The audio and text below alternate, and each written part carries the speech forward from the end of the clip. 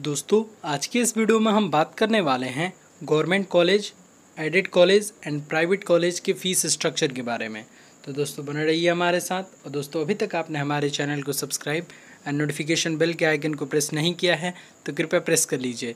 इससे हमारी आने वाली न्यू वीडियो की नोटिफिकेशन आपको सबसे पहले मिला करेंगी। तो नमस्कार दोस्तों, मैं हूँ रोशन और स्वागत है आप सभी का पांडे जी टेक्निकल में।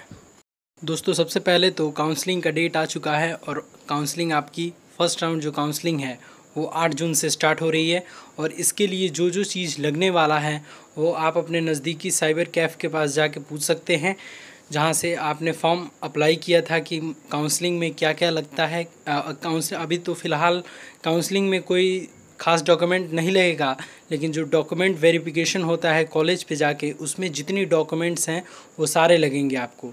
लेकिन जो काउंसलिंग की प्रक्रिया है, उसको आपने जहाँ से फॉर्म अप्लाई किया था, वहाँ जाके आप पूछ सकते हैं कि काउंसलिंग के दौरान हम, हमें कौन कौन से डॉक्यूमेंट लेके आने पड़ेंगे। तो दोस्तों, ये आपको वहाँ से पूछना पड़ेगा, ठीक है? तो फ़िलहाल काउंसलिंग की बात यहाँ पे समाप्त होती है। अब आइए फ़ीस स्ट्रक्चर के बारे में बात कर लेते हैं। सबसे पहले आता है गवर्नमेंट कॉलेज तो गवर्नमेंट कॉलेज में जो फ़ीस होती है, वो फ़ीस होती है आपकी बारह हज़ार छः सौ सत्तर रुपये। अब इसमें क्या क्या इंक्लूड होता है?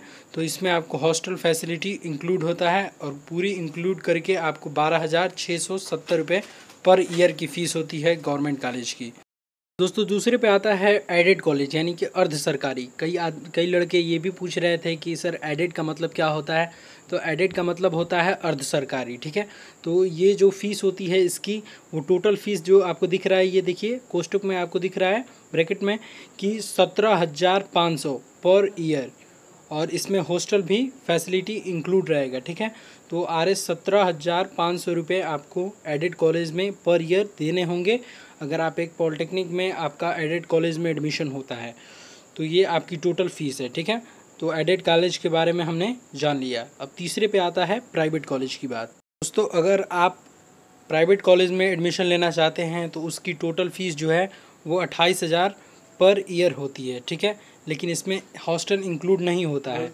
हॉस्टल अगर इंक्लूड करेंगे आप तो तीस हज़ार अप्रॉक्स के आसपास आपको फ़ीस पड़ जाएगा ठीक है? तो यहाँ पर टोटल फ़ीस आपको अट्ठाईस हज़ार रुपये पर ईयर आपको पड़ जाएगा प्राइवेट कॉलेज की बात। तो दोस्तों उम्मीद करता हूँ वीडियो पसंद आया होगा। वीडियो पसंद आया है और काउंसलिंग से जुड़ी और वीडियो देखना चाहते हैं तो चैनल को सब्सक्राइब कर लीजिए।